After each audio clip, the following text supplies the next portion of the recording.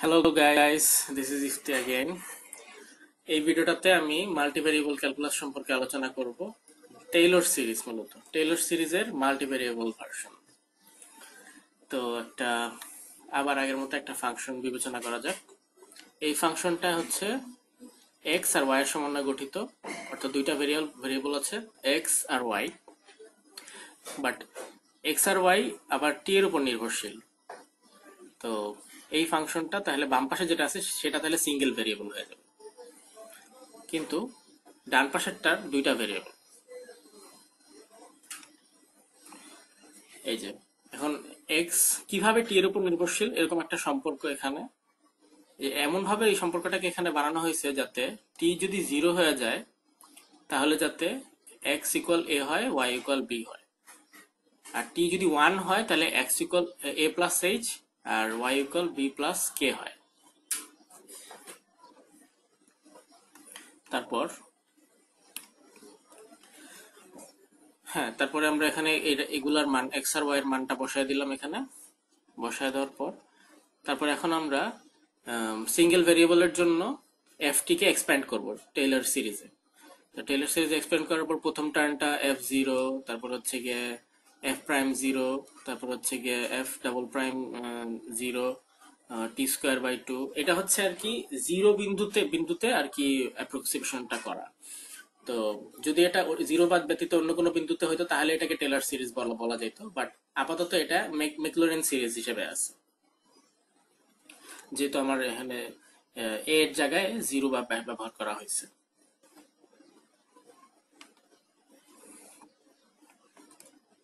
তারপর, এখন আমাদেরকে এই কোএফিসিয়েন্টগুলা কি হবে সেটা বের করতে হবে। এখন আমরা আবার জানি যে এই জিনিসটা, এটাকে ডিফারেন্সিয়েট করলে এটা পাওয়া যায়। আবার মানে এই এফটি কে ডিফারেন্সিয়েট করলে এটা পাওয়া যাবে। আর জিরোতে ইভ্যালুয়েট করলেই আমি ইভ্যালুয়েট করলেই আমি এই যে মানটা পেয়ে যাব। আবার এটাকেই মানে এফ টি কে দুইবার ডিফারেন্সিয়েট করলে আমি এফ ডাবল প্রাইম পাবো। আবার জিরো মানে টি এর জায়গায় জিরো বসাইলে তখন আমি এই মানটাও পেয়ে যাব। সো এখন মান বসানো আমরা বাদ দিই। আমরা জাস্ট হচ্ছে গিয়ে মান না বসিয়ে জাস্ট ক্যালকুলেট করি এগুলার এক্সপ্রেশনটা কেমন হয় দেখতে। তো এইভাবে করতে করতে করতে এফ এন পর্যন্ত যাবে। তারপরে হয়তো আরও বেশি যেতে পারে, কারণ ইনফিনিট সিরিজ এটা একটা। তারপর তারপর হচ্ছে কি আমি এখন প্রথমবার ডিফারেন্সিয়েট করব। কিন্তু প্রথমবার আমি যদি এটা ডিফারেন্সিয়েট করতে যাই, তখন এটা আমি দেখছি এখানে দুইটা ভ্যারিয়েবল আছে। তখন আমি multi variable chain rule use করব। চেইন রুল ইউজ করলে তখন এটা হবে যে পার্শিয়াল এফ তারপর ডিএক্স এক্স মানে পার্শিয়াল এফ এক্সের সাপেক্ষে। তারপর হচ্ছে গিয়ে d x d t plus partial f y এর সাপেক্ষে, তারপরে ডিওয়াই ডিটি এখন এখন এই যে এখানে আমি এখানে আমি আবার দিয়ে দিয়েছি যে মানে এক্সের মান কত ওয়াই এর মান কত। তো এখানে আবার আমরা দেখতে পাচ্ছি যে, আমরা যদি এটাকে ডিফারেন্সিয়েট করি, তাহলে এ কনস্ট্যান্ট কনস্ট্যান্ট জিরো হয়ে যাবে।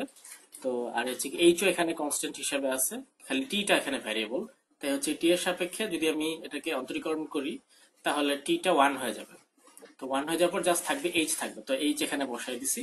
আর একইভাবে এখানে জাস্ট ডিফারেন্সিয়েট এটাকে ডিফারেন্সিয়েট করলে টি এর সাপেক্ষে জাস্ট কে থাকবে কে কে এখানে বসাই দিছি। আচ্ছা। তারপরে এই এক্সপ্রেশনটা আমি পুরোটা এখানে একসাথে লিখে দিয়েছি। তারপর আমি এফটা কি বুঝাচ্ছে সেটা সেটা যাতে আমাদের মাথায় থাকে, সেজন্য আমি এটা এখানে লিখে দিয়েছি যে এফ এফ হচ্ছে গিয়ে এক্স আর ওয়াই এর ফাংশন এখানেও এফ এক্স আর ওয়াই এর ফাংশন আর ওগুলি হচ্ছে আবার টি এর ফাংশন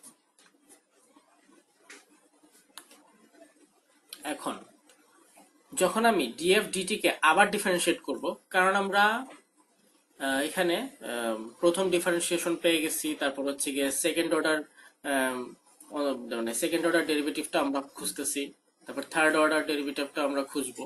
তো আমরা এখন সেকেন্ড অর্ডার ডেরিভেটিভ খোঁজার জন্য এটাকে এফ কে দুইবার ডিফারেন্সিয়েট করব। দুইবার ডিফারেন্সিয়েট করার কারণে d square f d t square হবে এখানে। তো সে একই নিয়ম। তো এখন আমরা যদি এখানে এটাকে আরেকবার ডিফারেন্সিয়েট করতে যাই এইচ কনস্ট্যান্ট এইচ বাইরে চলে যাবে কে কনস্ট্যান্ট কেও বাইরে চলে যাবে, তখন থাকবে হচ্ছে কি এই টার্মটা এটা আবার যে দুইটা দুইটা ভ্যারিয়েবল আছে এখানে হ্যাঁ? তো এটাকে যখন আমি ডিএক্স এর সাপেক্ষে মানে এক্সের সাপেক্ষে ডিফারেন্সিয়েট করছিলাম প্রথমবার, তখন যে ফাংশনটা পাওয়া গেছে, নতুন ফাংশনটা, সেই ফাংশনটা হচ্ছে গিয়ে এফ এক্স যেটা হচ্ছে গিয়ে এক্স আর ওয়াই এর মানে ফাংশন, আর এই পাশে, এই যে এই পাশে ওয়াই এর সাপেক্ষে ডিফারেন্সিয়েট করছিলাম, তো ওইটা আবার নতুন একটা ফাংশনে পরিণত হয়েছে, সেটা হচ্ছে এফ ওয়াই যেটা হচ্ছে গিয়ে এক্স আর ওয়াই এর ফাংশন তো যখন আমি এফ এক্স কে ডিফারেন্সিয়েট করব আবার, তখন জিনিসটা কিছুটা এরকম হবে যে, যেহেতু এটা দুইটা ভ্যারিয়েবলের ফাংশন তখন আবার প্রথমে চেইন রুল ইউজ করে ডি এক্সের সাপেক্ষে ডিফারেন্সিয়েশন তারপরে এক্স কে আবার ডিফারেন্সিয়েট করতে হবে টিএফ টি এর সাপেক্ষে। তারপরে প্লাস তারপর হচ্ছে ওয়াই এর সাপেক্ষে ডিফারেন্সিয়েট করতে হবে, তারপর আবার ওয়াই কে ওয়াই কে আবার ডিফারেন্সিয়েট করতে হবে টি এর সাপেক্ষে। তারপর একইভাবে এই টার্মটার জন্য আমার এত বড় একটা টার্ম পাওয়া গেছে, আবার এই টার্মটার জন্য এটার নিচের টার্মটা পাওয়া যাবে। এরকম ভাবে আমি এগুলা এভাবে পেয়ে গেলাম। তারপরে আমি এটা এই এই পুরো এক্সপ্রেশনটাকে একটু সিম্পলিফাই করব। সিম্পলিফাই করলে যেটা হবে আমি এফ এক্স কে আমি এইভাবে লিখছি, এই যে সেকেন্ড অর্ডার ডিফারেন্সিয়েশন হিসাবে লিখছি, লেখার পর আর হচ্ছে এইচটা গুণ করে দিয়েছি, গুণ করে দিলে যে এরকম আসছে। তারপর এখানে হচ্ছে গিয়ে আমি করছিলাম যে এই পাশে এখানে হচ্ছে ওয়াই এর সাপেক্ষে ডিফারেন্সিয়েট করছিলাম, হুম, কিন্তু প্রথমবার আবার এক্সের সাপেক্ষে ডিফারেন্সিয়েট করছিলাম বলে যে এখানে একটা সবুজ রঙের এক্স আছে। তো এটাকে যদি আমি পুরোটা একসাথে লিখি, তাহলে এখানে ডাবল ডিফারেন্সিয়েশন নিচে হচ্ছে প্রথমবারের জন্য এক্সের এক্স আর দ্বিতীয়বারের জন্য ওয়াই আচ্ছা ডিএক্স ডিওয়াই এভাবে আসবে। দেন হচ্ছে গিয়ে আমার এখানে যে একটা ওয়াই ছিল ডিওয়াই এটাও তো হচ্ছে গিয়ে আমার ইয়া হয়ে যাবে আর কি ডিফারেন্সিয়েট করতে হবে। ডিওয়াই কে ডিফারেন্সিয়েট করলে আমার কে বাকি কে থাকে। কারণ আমরা যে এখানে দেখছিলাম যে ওয়াই এটাকে ডিফারেন্সিয়েট করলে জাস্ট কে বাকি থাকবে। তো কেটা এখানে বসবে।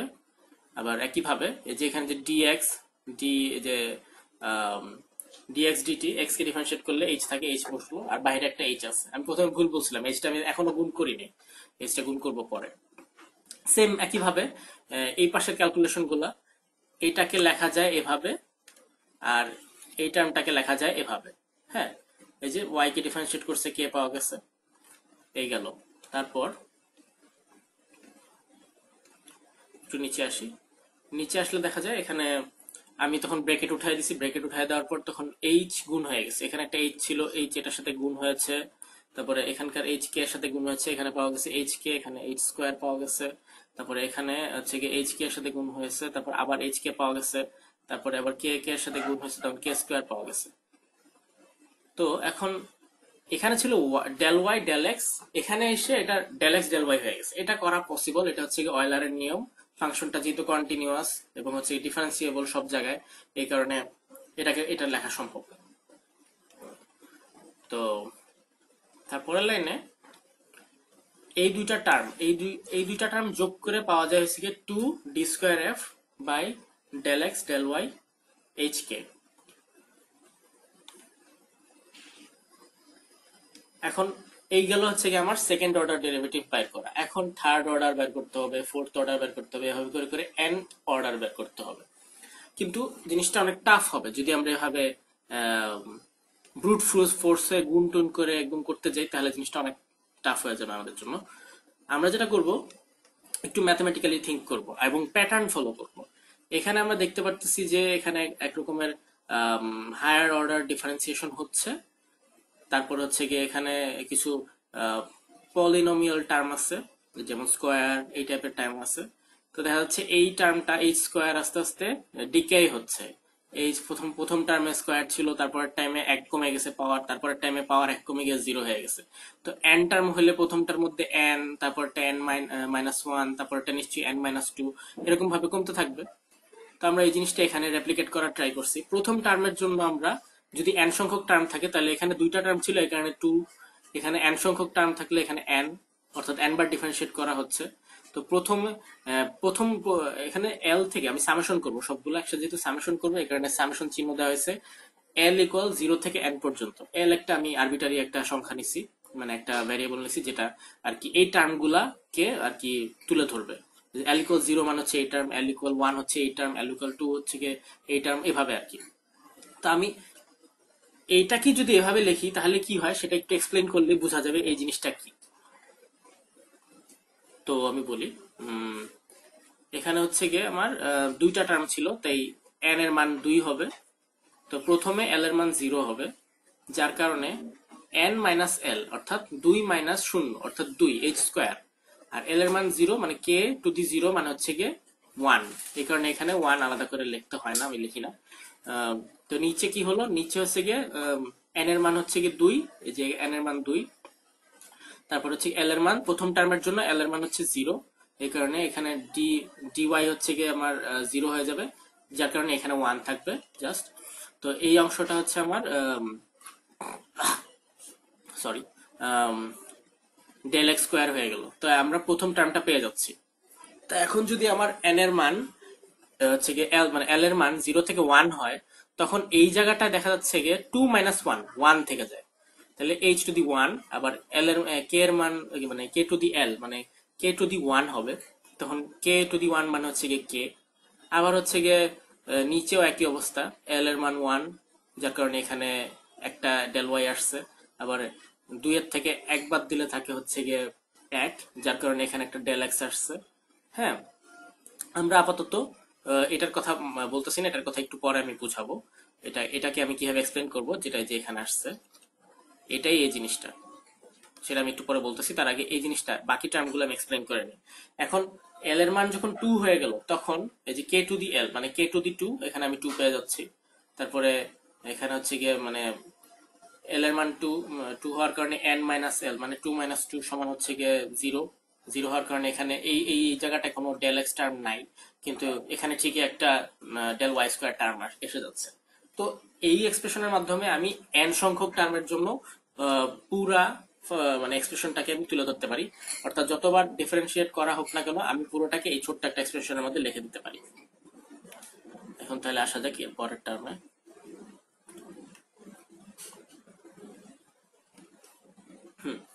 এখানে আমি এফ কে এন বার ডিফারেন্সিয়েট করছি। এন বার ডিফারেন্সিয়েট করার কারণে এই উপরের জিনিসটাই এখানে আমি আবার লিখে দিয়েছি। কিন্তু এবার আমি এক্সপ্লেন করতে চাচ্ছি সি, এন সি এল কে আমি কেন লিখলাম? এন সি এল কেন লিখলাম? এটা তো হচ্ছে গিয়ে সমাবেশ। সমাবেশটা লেখার এখানে কিছু কারণ আছে। কারণটা হচ্ছে এখানে আমি দেখতেছি সিম্পল একটা উদাহরণ দিয়ে বোঝানো যাবে সমাবেশ কীভাবে আসলো। এখানে এন এর মান হচ্ছে গিয়ে দুই এটার এখানে। এন এর মান দুই।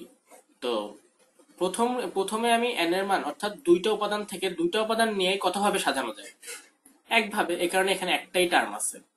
কিন্তু দুইটা উপাদান থেকে একটা উপাদান নিয়ে কতভাবে সাজানো যায়? সেটা হচ্ছে গিয়ে two C one two C মান ওয়ান মান হচ্ছে গিয়ে টু তাহলে এখানে টু আসছে দুই ভাবে সাজানো যায়। একটা হচ্ছে গিয়ে এইচ কে আরেকটা হচ্ছে গিয়ে আবার এইচ কে হ্যাঁ এখানে কোনো ভ্যারিয়েশন নাই দেখে কথাটা শুনে একই মনে হচ্ছে। এই কারণে এখানে দুটা যোগ করার কারণে টু আসছে। তারপরে আবার দুইটা উপাদান থেকে কোনো উপাদান না নিয়ে কয়ভাবে সাজানো যায়? শূন্য সংখ্যক উপাদান নিয়ে কয়বার কয়ভাবে সাজানো যায়? একভাবে। তাই সেখানে এই যে এইচ এ কোনো এইচ এর মানে এইচ এর মান আমি এখানে পাইনি। এখানে একভাবে সাজানো গেছে। এখানে এইচ এর পাওয়ার দুইটাই নিছি। অর্থাৎ ওয়ান টু টু টু আছে বলে এখানে একভাবেই সাজানো গেছে। এইচ এর মানে এখানে দুইটা পাওয়ার থেকে একটা পাওয়ার নিছি ওয়ান নিছি। এই কারণে এখানে দুইভাবে সাজানো গেছে। আর আহ, দুই ভাবে দুটা যোগ হয়ে আর কি এখানে টু আসছে। আর এখানে এইচ এইচ এর কোনো পাওয়ারই আমি নেই নেই এই কারণে এটাও একভাবে সাজানো। এই কারণে এটা একভাবেই আছে। সো এখন যদি আমি থ্রি এর ক্ষেত্রে যদি আমি চিন্তা করতাম এন ইকুয়াল যদি থ্রি হইতো তাহলে কি হইতো? থ্রি হইলে কিছুটা আমি একটু নিচে এসে দেখাই। থ্রি হইলে মেবি কিছুটা জিনিসটা এরকম হতো যে এইচ কিউব প্রথমে তিনটা উপাদান থেকে তিনটা উপাদানে নিচ্ছি এইচ কিউব আসছে তারপরের লাইনে হচ্ছে গিয়ে তিনটা উপাদান থেকে দুইটা উপাদান নিচ্ছি এইচ স্কোয়ার আসছে, কিন্তু এখানে ওই যে তিনটা তিনটা পাওয়ার ছিল না। তো তিনটা পাওয়ার থেকে আমি এক, দুইটা পাওয়ার এইচ কে দিয়েছি একটা পাওয়ার কে কে দিয়েছি তো এভাবে সাজা, সাজানো যায় কয় ভাবে? তাহলে two C one three three C two three C two হবে। তো থ্রি থ্রি সি টু মানে কত হবে? থ্রি সি টু মানে হচ্ছে three factorial three minus two factorial আর এটা হচ্ছে টু ফ্যাক্টোরিয়াল সো এটা হিসাব করলে যা আসে আর কি। তারপর হচ্ছে গিয়ে আমি এরপরে হচ্ছে গিয়ে এরকম এরকম কিছু উপাদান থাকবে এখানে থ্রি সি টু এভাবে দিয়ে দিলাম। এতভাবে সাজানো যায় এবং ওগুলো যোগ হয়ে যাবে। তারপর হচ্ছে গিয়ে তিনটা উপাদান থেকে একটা উপাদান নিয়ে কতভাবে সাজানো যায়? এইচ ওয়ান কে স্কোয়ার একটা উপাদান নিয়ে কতভাবে সাজানো যায়? দেন এটাও এখানে দিয়ে দিব। প্লাস তিন তিনটা উপাদান থেকে জিরো উপাদান নিয়ে কতভাবে সাজানো যায়? থ্রি সি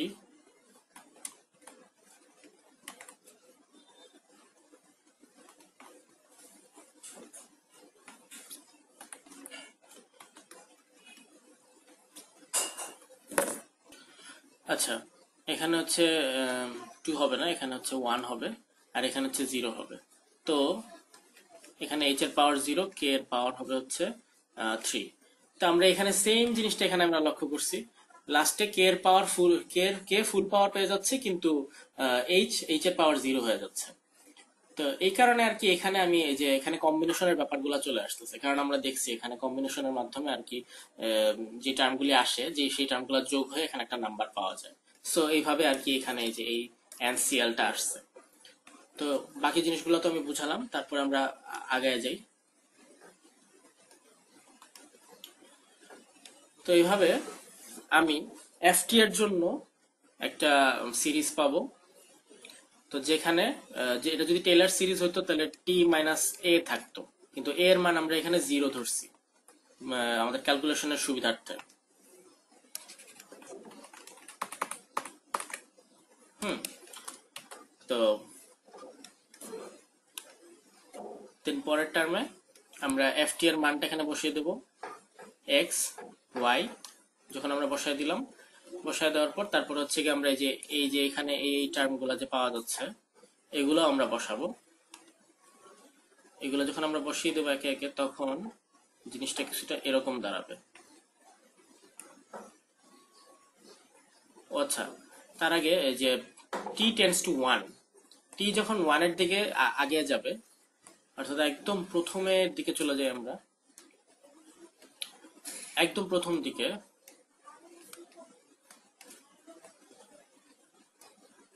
হ্যাঁ একদম প্রথম দিকে হচ্ছে আমি এখানে দেখতে পাচ্ছি টি যখন ওয়ান হয়ে যাবে টি টেন্স টু যখন ওয়ান হবে, তখন বি প্লাস কে থাকবে আর এ প্লাস এইচ থাকবে।